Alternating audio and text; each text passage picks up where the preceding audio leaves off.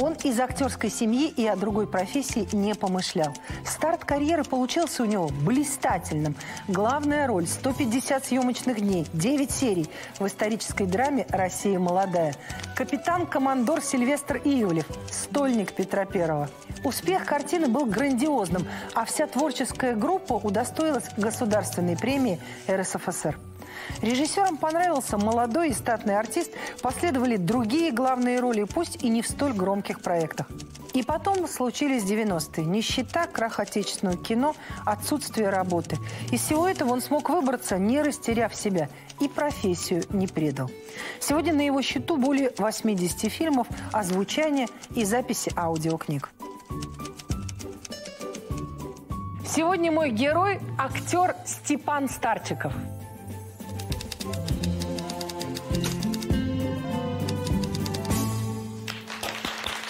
Здравствуйте, Степан Сергеевич, это я бурно вам аплодирую. Наконец-то вы пришли в программу «Мой герой». И вот у меня первый к вам такой вопрос. К артисту Степану Старчикову, которого я люблю всю жизнь, почему вы интервью не даете? Я даю. Нет, это сейчас. Если их берут, мало, я даю. Мало. Не любите рассказывать о себе? Или у вас какие-то правила внутренние? Нет, это никак э, осознанно не создается ситуация. Просто я по своему ощущению считаю, что актер должен быть немножко Загадкой. загадочным, да. Чтобы он мог быть разным в разных ролях. А когда все нараспашку, когда все знают, когда в рекламе и везде, то, по-моему, это неправильно. Вы когда росли мальчишкой, вы себя кем воображали? Из литературных персонажей вам тогда хотелось бы быть Саней Григорьевым, барабанщиком из «Судьбы барабанщика», из Юрия Германа, Володей Устименко врачом. Я вообще в детстве очень много читал. Я ходил в школьную библиотеку, брал книги домой и читал. Я не, не могу вам сказать, кем бы я хотел быть, но я могу вам сказать, кто мне запомнился очень явно, сильно на всю жизнь из тех персонажей, про которых я читал. Я помню, была такая книга, вы удивитесь, она называлась «Питер Мариц, юный бур из Трансвааля, про войну буров на юге Африки.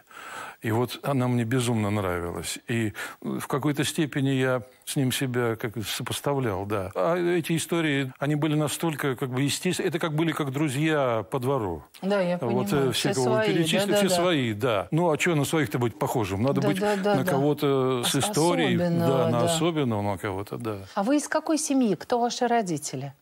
Мои родители артисты. Папа был драматический актер, мама была оперная певица. Но э, было, значит, так. У моего отца в метрике записана свидетельница его рождения Фрейлина двора Ее Величества. А мама была родом из крестьянской семьи деревни Акулова. Она мне рассказывала, что где-то рядом жил Маяковский, и вот э, на даче было это. Это про эту деревню. Про да. солнце, да, это вот, про- да, где-то вот рядом он жил, и про эту деревню он э, написал это- эти стихи. Вот, так что из какой семьи мне сложно сказать, но они оба, мама была певица. Они в Москве работали? Да, мама э, ходила к Дунаевскому, в хоре Дунаевского пела. Папа, когда они переехали из Петрограда в Москву, мой отец 907 года рождения, то его отец Девушка. Здесь, в Москве, да, дедушка. Вел самодеятельный театр, народный театр. И э, отец там участвовал. И он замещал всех, кто заболел. Играл все роли. Поэтому в 17 лет его э, без института, без образования приняли в Малый театр. А потом где служил? Он везде. Он служил в театре сатиры э, лет 10. А вот они дружили с Ириной Зеленой. У нас даже есть фотографии. Да что? Да. Он э, работал в театре миниатюр. В том. В, в то время, до войны еще, да. Потом вот с театром сатиры они уехали э, в Алмату на гастроли. Там его э, забрали в армию. Война, да? Война, да. И прямо в Сталинград он попал. Он воевал до конца войны, но потом его сделали ответственным за культурно-массовую работу. Он был кавалеристом. Сначала в 7-й, потом в 4-й удаватора дивизии. И э, он э, сформировал группу артистов и ездил, значит, по частям. И в Москве он маму увидел и пригласил ее. Разница у них была 15 лет. Услышав ее, у нее был прекрасный голос меццо-сопрано. Они стали вместе ездить, и потом, значит, после войны они поженились. А кто вас растил, если родители артисты и все время были заняты своей работой? Я очень поздно родился. Мама закончила уже свою карьеру профессиональную. В 35 лет она меня родила. Вот. И она была педагогом, преподавала вокал в музыкально-педагогическом училище. А сначала концерты были, бабушка сидела в Москве. А когда они в Пермь уехали, то э, вот она, я был на нее в руках. У мамы? Да. Вот, кстати, по поводу 15-летнего капитана. Вы помните, кто играл там Негоро? Себастьян Негора. Да, Себастьян Негора. Кто? Нет, артист? не помню. Остангов. Остангов, да, Остангов. да, да. Остангов э, каким-то образом объявил, что ему нужен второй состав на роль Матиса Клаузена перед заходом солнца. И отец пришел и показался. И он стал работать с 57 года. Несколько лет работал в театре Вахтангова. Вот играл со Станговым в очередь эту роль. А потом товарищ Хрущев начал сокращение, стали переводить на более низкие э, ставки, категории более низкие. Отец сказал, нет, я это Не своей могу жизнью так. заработал. Я, да, значит, мама мне рассказывала, что Михаил Ульянов ему уступал в очередь в кассу за зарплатой. Потом, когда они ездили в Питер, мама мне очень любила рассказывать, что это уж угощал яблоками. Я говорю, Лиль, вам надо, вы кормите ребенка маленького. Вот такие вот мамины воспоминания. Вот. А потом, значит, он сказал, нет, я не пойду на низшую ставку. И первый театр, который мне предложит работу, я туда поеду. Пермь предложила ему и его категорию, и квартиру. И он туда уехал. Там в это время работали Петр Сергеевич Велиминов, Георгий Бурков. Вот. Много хороших Тоже неплохая людей, да. компания. да. Неплохая компания, да, да, да. да. И вот так вот мы оказались в Перми. Я закончил школу там и вернулся обратно. А вы вернулись в институт поступать, Да, да? да, да. А родители там остались? Мама. Папа уже умер тогда. А, он так рано Он умер. умер, да, мне было 9 лет, да. А мама не возражала против выбора профессии, против вашей будущей профессии? Вы знаете, вот самое сильное, а, что стало таким пусковым крючком, что подействовало на меня в выборе профессии, мамины слова. Она сказала, отец всегда говорил, хочешь ты, Лиля, или не хочешь, твой сын будет артистом. И вот это мне настолько запало в Он голову, откуда это знал, да. что он имел в виду, я не знаю. Но вот эти мамины слова, она их мне передала, и все. Это как бы вот стало решающим. А вы моментом. э, а, чувствовали в себе какую-то артистичность, Степан? Вы знаете, вот удивительно, нет. Единственное, что я, э, какое участие я принимал в постановках в школе, это я держал ширму для кукольного театра. Это важная и почетная роль, С- да. Ну, с этого, надо, с чего-то надо было начинать, да. Но больше всего мне нравилось лежать на пузе на диване и слушать по радио радиопостановки. А тогда их было... Здравствуйте. Тогда их было огромное Та количество. же песня да. совершенно. Да, да, Причем да. еще, если вот я не успевала из школы, я помню, был момент, когда они начинались в 14.05. Да, да, да, Днем. днем, днем, днем, да, да. И да. вот у нас урок кончался шестой в 14, но мы жили рядом. И нужно было очень быстро бежать, чтобы вот 14.05 добежать. Это, это были постановки именно. Не спектакли, записанные в театре, да. Да, да, да, а да. именно созданные... А радио, да. Ой, какой На это радио, был да. восторг. А там э, малый театр, театр Вахтангова. И, и вот я на всю жизнь запомнил, я слушаю, чувствую, что вот Бабочкин немножко неправильно играет. Надо немножко по-другому. И вот, вот это желание поправить некоторых Да, артистов. я понимаю. а, Вот оно тоже сыграло свою такую э, энергетическую роль, да, в выборе. Мы с ним встретились только в одной работе, но он играл э, такого персонажа, э, Бернарда Шоу, что, как вы сами понимаете, когда человек играет, артист берется и играет такую личность, значит, он сам должен быть незаурядным человеком. А Степан, он человек, проживший достаточно трудные времена, э, времена э, взросления, становления, славы, когда он был мега популярен, потом э, переход в другое качество. То есть человек, принявший на себя честно и открыто груз испытаний, груз лет и груз своего таланта. И Степан, он, во-первых, сам делал этот материал, я имею в виду как, как, как сц- сценарист. Степа, он, он очень добрый, честный э, в работе, в этом плане очень строгий. Не непрощающий, а именно строгий и к себе, и к тем, кто э, с ним работает. Когда Степ взрывается, мало не покажется. Он, как все большие люди, он добродушен. Я видела его, когда он заводился только по работе. Я по сыновьям вижу. Вот его сын э, женился, и они поехали с женой в Кению. Вот он переслал мне э, видео коротенькие вот этих всех приключений и написал, что я горжусь своим сыном. Но это вот о многом говорит. Он действительно гордится своими детьми, обожает свою собаку. Степа говорить можно только об искусстве. Желательно об искусстве. Вот это все прочее, вот это, вот это, вот это не надо.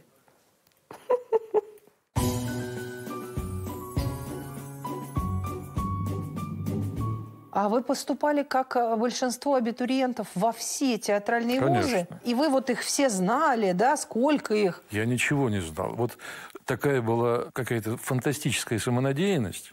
Я даже программу учил в поезде. Просто учил наизусть. То есть я был настолько уверен, что меня примут с распростертыми объятиями, что я в поезде... Я даже сейчас помню это стихотворение. Такой Решетников был поэт в Перми – сын Зубра не приходит к ясной зорьке. Ни амулет, ни идол не помог. Про каменный век стихотворение. Вот. И, значит, э, естественно, я везде с громким треском провалился. И вернулся обратно. И год работал мебельщиком в театре, в драматическом театре, где отца все знали. И вот один из артистов меня отвел таки в театральную студию. И год я, значит, ходил в студию и параллельно педагог меня готовила к поступлению в институт. Вот эта вот история с провалом вас э, задела сильно? У меня был еще год в запасе. Поэтому я, конечно, расстроился, но не сильно. Потому что я вот знал, что, ну ничего, ну на следующий год я подготовлюсь и... Поступлю. Да. И так оно и вышло, да? Вышло совершенно случайно уже как бы пролетал не со свистом, а с какими-то словами, с какими-то, с какими-то оценками. Ага. Последний был институт МХАТ. А мы были группой, э, с группой ребят из Перми поступали из этой студии театральной. Я им сказал, ну, вот сейчас э, зайду и поедем домой. А был, по-моему, то ли второй тур, то ли перетур. Там как бы уже все заканчивалось. И были какие-то дополнительные прослушивания. Меня прослушали, сказали, подождите за дверью в группе. Потом вышла девушка и сказала, что спасибо всем большое, приезжайте на следующий год, вы молодцы, но у нас уже все набрано. И я пошел вниз. Такая лестница большая. МХАТ был еще с другой стороны еще. От театра училища. И когда я а, а, уже оказался внизу у выхода практически, вдруг э, сверху раздался голос, усиленный эхом подъезда. «Старчиков, задержитесь!» Ну вот я задержался. И поступили? И поступил, да. К кому? Павлу Владимировичу Масальскому. Павел Владимирович Масальский, Иван Михайлович Тарханов, Родомысленский. Ой, это все легенды. А, Софья Станиславовна Пилявская. Пилявская, да-да-да-да-да-да. Какие они были? И чему они вас учили? В жизненном плане, вы знаете, вот я как вспоминаю эти годы учебные, институтские, я думаю, что это было просто где-то на другой планете. Да что А потом я прилетел сюда на Землю. Во-первых, вот э, Ольга Юрьевна Фрид, педагог по речи, Иван Михайлович Тарханов, Алексеев Николай Павлович, они были из первого выпуска школы-студии, которая была создана в 1943 году во время войны. У них было особое отношение к этому учебному заведению. И ректор Вениамин Захарович Родомысленский, его любимое выражение было в моих интимных беседах с Константином Сергеевичем Станиславским. И вот это у нас была любимая тема. Шутка, да-да-да. Да, Я помню, однажды мы отмечали окончание первого семестра в общежитии, в таком в полуподвальном помещении с полумраком, естественно, с э, сухим вином. Вот мы все там радовались, что закончился первый семестр, что мы все такие вот теперь артисты да, немножко и так далее. И вдруг в это полуподвальное помещение входят все наши педагоги. И по речи, и по танцу, и по сцендвижению, и, и Тарханов, кроме Павла Владимировича, он болел. Все, все, все, все, все и поздравляют нас, и вместе с нами по бокалу вина. И это на меня вот до сих пор, Конечно. я сейчас рассказываю, у меня мурашки бегут по ногам, Конечно. потому что это было настолько неожиданно и настолько просто Не, немыслимо. Немыслимо, да. да. А потом они очень часто, очень многие из них любили приглашать нас к себе домой дома за чашкой чая, что-то они рассказывали о, о том, что у них висит на стенах, и все люди были интеллигентные, с историей. Угу. Вот. Виталий Яковлевич Веленкин, Просто вот мы у него столовались, я помню. Он был э, секретарем Качалова, потом Ничего он себе. был помощником зафлита э, МХАТа. У него была такая горка с фарфоровой посудой, со старинной. И там э, лежала фарфоровая рука. Я говорю, смотрите, какая рука красивая. Он говорит, да, это посмертный слепок руки Анны Андреевны Ахматовой. Булгаков у него в- компании читал какие-то фрагменты из «Мастера и Маргариты» дома. Какие чудеса прям. Чу- я говорю, из другой планеты. А уж э, про то, как они нас учили, как они нам все прощали, как мы в своем самомнении доводили их, ну, это можно рассказывать бесконечно. И вот, значит, Павел Владимирович э, решил поставить на третьем курсе «Воскресенье» по Толстому. И, и мне дали роль Нехлюдова. А для него это была какая-то э, такая очень личная история. Он же в Амхате играл в очередь с Качаловым от автора. Для него это было очень как-то вот важно, значимо. И мы репетировали парные сцены Катюши и Нехлюдова, Катюши Масловой. И он все время пытался мне как-то все передать, что я должен почувствовать, что он в это время ощутит. А у меня такая особенность, я не могу с показа. Я Просто у меня створки Да, захлопываются. я понимаю, понимаю, понимаю. Да-да-да, Я- потому я- я не могу непонятно, пов- что я делать. не То есть могу Вы должны повторить, да, повторять, да. Что это обозначает? Вот для, ну, для каждого человека это что-то свое личное. И я вот... Не...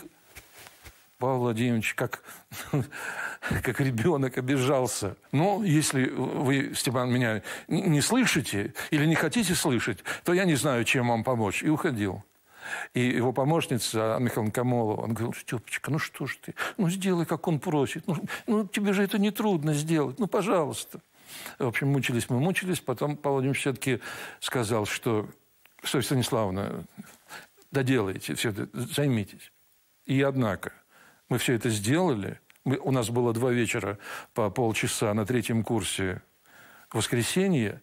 И Павел Владимирович на экзамене участвовал, играл роль от автора. От автора, Да. как, как на сцене МХАТа, Как, да? как в Амхате он перед кафедрой участвовал в, экзамене своих студентов. Удивительно. Поаплодируем им, этим людям. Со Степаном мы уже знакомы 40 лет. Мне было 19 лет. Мы познакомились на «России молодой». Это была его первая роль. «Россия молодая», конечно, это вообще великий фильм, я считаю. Нам, честно говоря, повезло и мне, и ему.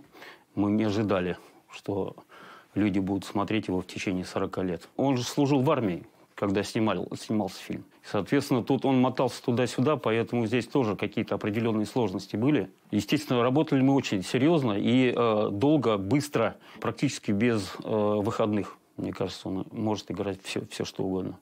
Начиная с маленьких ролей и, соответственно, главных ролей. Степан Сергеевич у нас довольно-таки мягкий человек, с одной стороны.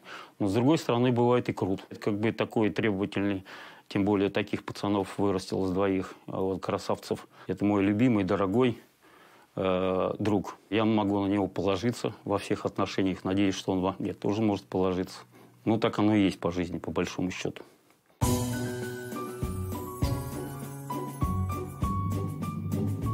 Вы окончили школу-студию с красным дипломом, правильно я говорю? да, да, да. И почему-то, несмотря на то, что была прямая дорога вам в Амхат, Меня брали. да, вы отправились в Ленинград. Зачем? Да. В Амхате тогда было 160 человек артистов. А э, в Ленинграде, в театре на Литейном, меня брали сразу на главную роль. А, И с женой вместе в, один театр. А, вы уже были Я женаты, уже- да. да, я уже, да. И Софья Станиславовна Пилявская, ученица Константина Сергеевича Станиславского, подошла ко мне в коридорах института и сказала, ты не пошел в Амхат, да? Отказался, я знаю. Я говорю, да, Софья Станиславовна. отк- Я думал, сейчас будет... Ну, Разнос. дура. Она говорит, молодец, правильно сделал. Там ты погибнешь. Вот, и поэтому я оказался, но ненадолго, в э, в В Ленинграде. Ленинграде. Да. А сколько вы проработали там, Степан? Я там проработал три месяца. А, совсем ничего. Но даже проработал, да, громко сказано. Я пока еще был в Москве, пока там сезон не начался, я поехал на студию Горького, и меня утвердили на роль в восьмисерийном фильме «Россия молодая». Сильвестра Ивлева. Да. Я когда приехал туда, в Питер, э, в Ленинград, Я сказал об этом. Да, режиссер просил два дня в неделю. Законный выходной понедельник и к нему еще воскресенье. И больше ему не надо было. Но там я даже не могу понять, на основании чего. Такая буча началась. Как? Молодой артист погнался... В театре? Да, Или в театре, да. вот да, на да. Литейном? Меня вызывали на худсовет. Вы еще ничего не сыграли. Так я вот и хотел бы сыграть, да. Погнались за длинным рублем. Вы... Ну, это до исти... Они меня довели до истерики. Пришлось взять какую-то справку, что я болен, уехать в Москву на, на первые съемки, а тут меня э, забрали в армию, в кавалерийский полк, который при Мосфильме был. А снимались вы в армии, будучи? Да. Коля за делом позвал дело и говори. Уж ли сам веришь в то, о чем речь ведешь? Уж ли Зверюга Прозоровский так обдурил тебя? Ты правду ищи. Правду? Какую правду? Поверил бы, да в листах написано «не верь» и по-немецки. Отпустил бы, да своя голова дорога. Ну, к чему сия жалостливая беседа? Чтобы я возрыдал на твои горести? Не возрыдаю. Я тебя, друг любезный, по Переславлю помню, каков ты умник. Правда ему не сыскать. А ты ее ищешь. Да ни к чему тебе она. Без нее поспокойней. Молчи! А коли мне молчать, так и ты не жалуйся. Более толковать не об чем. Когда вышел этот фильм, впечатление от него у зрителей, особенно вот у молодых, собственно, которых он и был рассчитан, мы так бежали к телевизорам его смотреть, и нам, вот нам с сестрой, очень нравилось, что он длинный. Вы когда снимались, вы понимали, что вы снимаетесь а, в шедевре? Пройдут годы, но они уж прошли. Да. И немало, Минуют, да. да, минуют десятилетия, несколько их уже миновало, да? И этот фильм все будут смотреть, потому что он настолько правильно сделан. Так вот, когда вы снимались, это было понятно, что это вот Герман написал, а вы вот снимаетесь, и что это будет теперь навсегда. Понятно было то, что очень приятно работать с, со своими партнерами. А старшие партнеры, они просто так нас вдохновляли. Ну, там практически все народные артисты Советского Союза снимались. И Стрижельчик, и Лапиков, и А Лапиков Кузнецов. какой, да-да. Да, понимаете? И когда у тебя такие партнеры, а они все живые, они же живые. Персонажи, Персонажи живые, они живые, не да, вот они, вот да, они, да, да. да, да, да. Мы с ними репетировали. Они, они просили репетицию.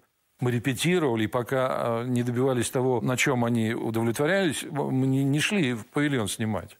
А я помню, с Иваном Герасимовичем репетировали в гримерке. Несколько раз мы прошли сцену, прежде чем идти в павильон. Понимаете, все было, как говорят, по-взрослому, на 100% профессионально. Поэтому мы думали о том, как бы получилось то, чего мы хотим Чего вы сделать. хотите, да. А, а какой это эффект произведет, ну, это вообще никто не мог. А вот это все было по Знать. правде. Костюмы, декорации, а все шилось, строилось. Правильно я понимаю? Э, Правильно, но с одним «но». Я надеюсь, что вот режиссер э, Илья Яковлевич Гурин сейчас слышит наш разговор, потому что это все к нему относится.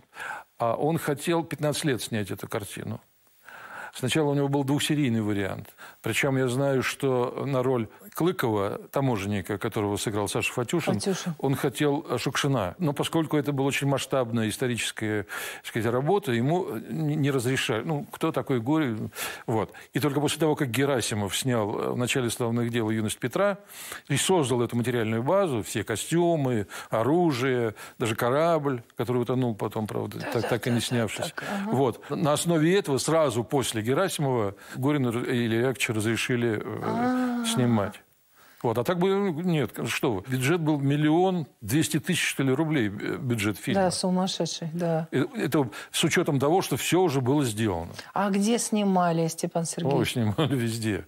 И в Москве по всем монастырям, в Питере снимали, очень много в Суздале тоже снимали. А, и в Суздале Да, даже, да, да? да, да. Ой, потрясающе, как я не знала. В Выборге снимали много, очень много. А такой момент был в вашей жизни, что вы проснулись знаменитым? В общем, как бы да. А, Потому что я не знаю, в чем это должно было выражаться. Но Ну, писем, как в чем? писем В том- было много. В том, чтобы узнавали и Очень. говорили, смотри, смотри, Сильвестр пошел, Сильвестр. Не-не-не, вот это было, это было замечательно. Там же возрастной диапазон очень большой, Да, а- от да. 18 Он там- мальчиком, да, и лет Да. до 35, наверное, да? Да, да, да, да. И самые эффектные сцены, они в последних сериях. Тот персонаж запомнили именно таким. Взрослым. Да, там-то мы еще все бегали кудрявые, тонкие, звонкие, все вместе э, гуртом.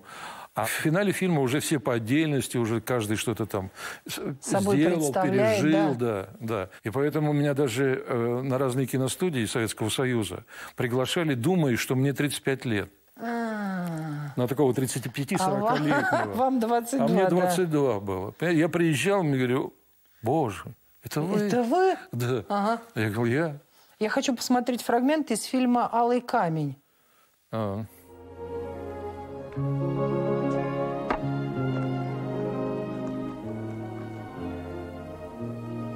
Постой.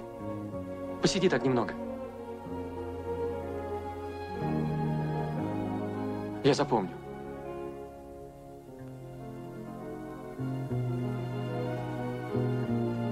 Вот так. Вот вернусь из экспедиции. И осенью, когда пойдут дожди, я нарисую тебя. Вот так вот. Солнце, ветер и ты. И назову картину «Счастье». Счастье. А девчонки говорили, бросит он тебя на тах, потому как красивый. А красивые все ветреные. И работы, говорят, у него ветреные. Геолог он и есть геолог.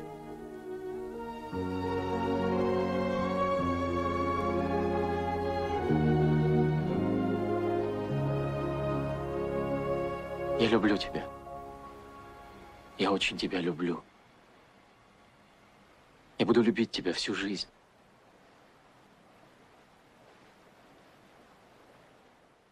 А что вам из начала работы вашей, да, кинематографической, больше всего понравилось, ну, после «России молодой»? То есть где вам нравилось играть, Степан Сергеевич? Я очень много э, в то время работал на студии Довженко.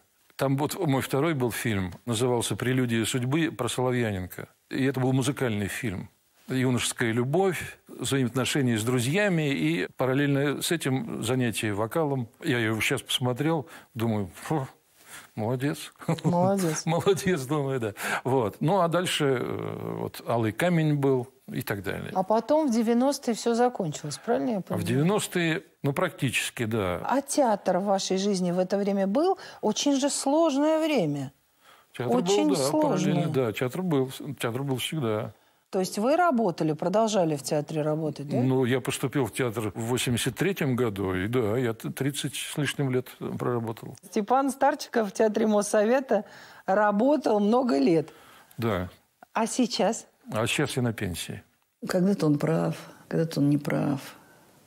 Вот. И, конечно, то есть сначала это он что-то такое вот в себе замкнется, а потом что-то произойдет.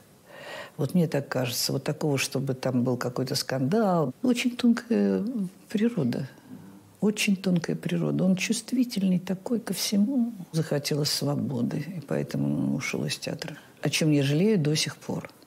Очень. Мне кажется, что пришло какое-то его время, других ролей, другого какого-то направления. Но э, ему захотелось свободы. Рвануть в пампасы.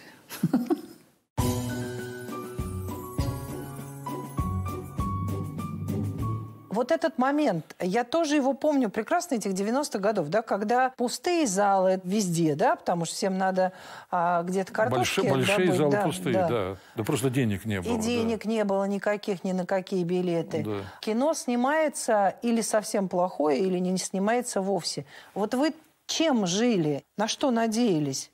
Профессия спасала. Между прочим, вот в эти 90-е, начало 90-х годов, в 92-м году мы ездили, мы сделали самостоятельно спектакль, его потом включили в репертуар театра на малой сцене. Анатолий Азаревич сделал э, эту пьесу. И мы с ним ездили в Испанию, в Каталонию. Оттуда приезжала делегация, у них как раз, они как бы самооформились. И вот э, они приехали в Россию, в Москву, а поскольку у нас театр назывался именем Моссовета государственный, хотели пригласить какой-то спектакль э, к себе туда. Э, и вот, а мы, мы сделали «Фреканжели» впервые в России, в Советском Союзе. И они нас пригласили, и мы в 92 году ездили в Барселону, в Реус. Это страшно интересно. В Вик, да, играли там. В Барселоне мы просто на ура прошли, играли в их театральном институте. Причем там интересно, у них так принято на какие-нибудь премьеры и вернисажи. Женщина приходит с, с мужем со своим обязательно в каком-то легком мехе, таком в манто каком-то, а, я не знаю, как манто, это называется. Да, да, да, да, да. И вот это было очень занятно смотреть. Такой зал был амфитеатром. И вот эти вот сидели дамы э, в этих ну, шубах, не шубах. Ну, в манто, манто да, да, в меховых да. манто. Стоя они аплодировали. Стоя мы пять раз играли подряд. Мы играли э, на русском. Там шел, правда, текст. Перевод. А потом э, поехали в их э, бизнес-столицу, в Реус. Там потрясающий театр, такая Ласкала. Но мы играли очень интересно. Мы играли за пожарным занавесом на сцене. Зритель сидел не в зале, который гигантский зал, а зритель сидел по периметру огромной сцены, и мы выходили как бы за кулисы в зал через а, дверь. понятно, в этом понятно, пожарном, да, да, да. пожарном занавесе. Отражение. Отражение, такое. да, да, да. Знакомство со Старчиковым началось с удивления – так скажем, когда он 30 лет назад отказался сниматься в эпизоде в моем дебюте. И я тогда его возненавидел и решил, что раз он такой, то я его обязательно буду снимать. Последние лет 15 он у меня из кадра просто не выходил в сериалах. Просто это был определенный талисман. У меня, у моей компании. Степа очень взрывной. Он как многие актеры, он большой ребенок. Если он чем-то увлечется, его оторвать невозможно. Если он чем-то возмущен, то он обязательно э, выскажется и скажет, скажет это впрямую. У него есть чудесное свойство, повторюсь, как у ребенка, он на мир смотрит вот с распахнутым взглядом, и он все время удивляется, и постоянно у него все время есть идеи. У него все время есть сюжеты, у него есть все время впечатления, какие-то наблюдения, которые ему хочется тут же э, в книжку, в спектакль, в роль, он это запоминает. Вот это, конечно, удивительное, удивительное качество. У Степы это еще очень хорошо проявляется в его э, чтецком материале. Он же книги озвучивает. И тот, кто не слушал книжек в его исполнении, Мариме, ну, в общем, то настоятельно советую послушать, потому что получите удовольствие как от хорошего фильма или от спектакля. Хочу спросить вот о чем. Вы не служите в Театре Моссовета Нет. и находитесь на пенсии. Да. О чем вы сообщаете, весело смеясь? Да. А вот почему вы ушли на пенсию? Что такое? Ну, разошлись наши пути с театром Моссовета. Ну хорошо, но остались еще другие театры, где А, может быть... Вы знаете, они, э, на мой взгляд, может, я ошибаюсь, мало чем отличаются от э, того, что происходит в Театре Моссовета. А это не моя история. Нас учили театру переживания. А то, что сейчас происходит на, на, на грани развлечения, э, какого-то мюзик-холла, театра какого-то абсурда, что- что- вот это вот вообще не моя история. И я в нее никак не вписываюсь. А антреприза? Участвовал в антрепризах, очень хороших антрепризах, тоже с замечательными артистами. Но это же дело случая просто, антреприза. Ты же не придешь и скажешь, возьмите меня в антрепризу. Да, никому надо, они берут, э, кого не надо, не берут. А не скучно вам без театра, Степан Сергеевич? Нет, я, э, наконец, занялся дачей. Ага. У меня 30 лет э, был участок, на который у меня не было ни, ни сил, ни времени. А сейчас у меня есть силы и время, и это для меня нечто новое, совершенно необычное. Меня отец еще учил там пилить, строгать, сверлить, покупал мне инструмент, верстак. Мне отец, когда мне было 5 лет, заказал в театре верстак настоящий и принес его домой, маленький детский верстак. У меня стоял дома в комнате. Поэтому с детства я к этому э, отцом был приучен. А вот вы говорите, я занялся дачей. А что вам там нравится делать? Пилить, сверлить, э, колотить, э, совершенно ни на кого не глядя, не, не думая, а что скажут соседи. А жена ваша, близкие не возражают, что вы на даче время проводите? Жена только за. А жене что нравится делать на даче? Сажают всякие растения. А они у нее растут? У меня просто категорически ничего не растет. Э, Ну, я за ними ухаживаю, когда там бывает.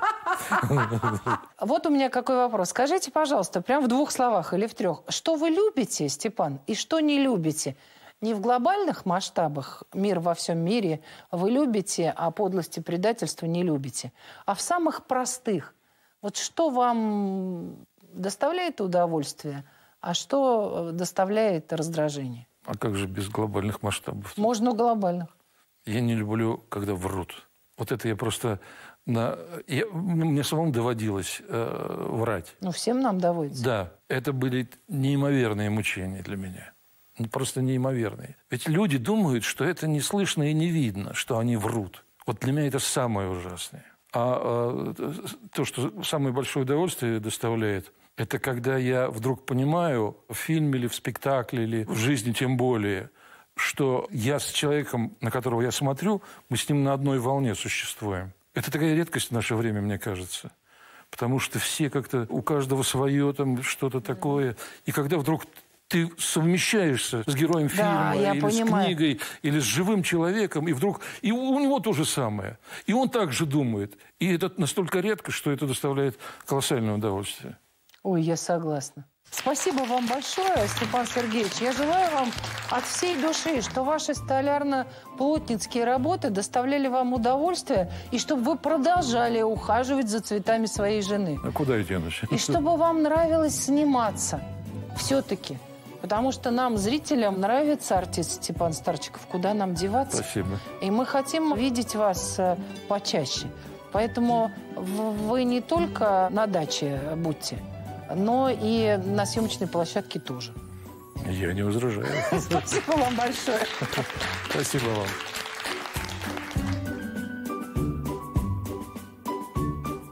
Степан Старчиков – актер еще той старой мхатовской школы. И этим не грех воспользоваться. Товарищи режиссеры, обращаюсь к вам лично. Этого артиста мы, зрители, хотим видеть и в кино, и на театральной сцене.